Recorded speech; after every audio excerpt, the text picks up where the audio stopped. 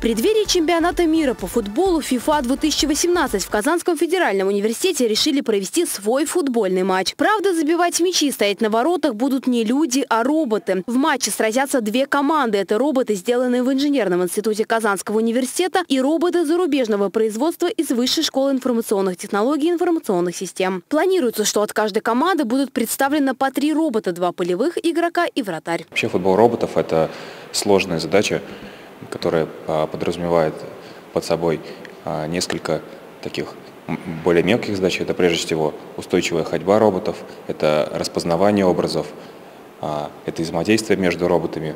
Сейчас как раз ведется работа по программированию этих функций у роботов. Задача перед разработчиками стоит не из легких. Роботы должны будут выполнять все без вмешательства человека. Анна Глазунова, Ленар Давлетьяров, Univer News.